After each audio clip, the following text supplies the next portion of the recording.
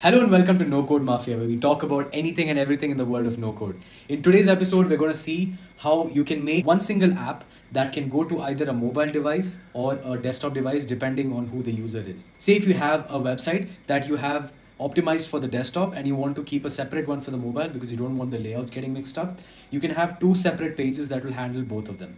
So let me give you an example of a use case. So in my last video, by the way, check that out over here if you don't have. I don't know if it's here or here. I'm new to YouTube. Please go easy on me. Um, if you can see on the desktop app, we have a lovely one that scrolls and it's perfectly scalable. But when we look at the mobile side, all right, um, it's um, yeah, it's it's not really the best, right? So and it scrolls sometimes, it doesn't scroll sometimes, it's a mess. So we can fix it up by just you know uh, duplicating the page and cloning it by saying it's mobile. And I've just tweaked it out by making it perfectly load on mobile all right so made the font smaller made 100% width put some padding in between. So it's all perfectly set. Now what we have to do is we've got to go to our index page and tell the index page that the mobile version of this particular app is the mobile page and when we go to our mobile version that is this one and we have to say that um, if um, the page is loaded all right if a page is loaded and um, this will happen only when the width of the current page is greater than usually people put like 300 to 400 i'm just going to put 400 because that's what's the easiest. It just go to and we go to the index page.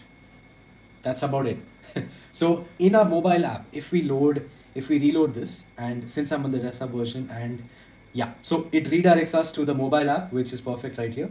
And say for example um, the desktop the desktop version person accidentally just um, stumbles upon like a mobile url it's going to load it for a second and then it's going to shift to our desktop version so it's going to optimize and give us the best uh, route option possible. So that's it guys. Hope you found this super useful. We use it for say if uh, a dash dashboard version that is really not possible to make on mobile if, if you're doing fast development. It's not available to make on mobile fast. What i do is i just redirect the mobile version to go to a static um, this app is not available on mobile yet page. So that you know helps us um, save save the misfortune of seeing someone oh this is not working properly because i tried it on my phone.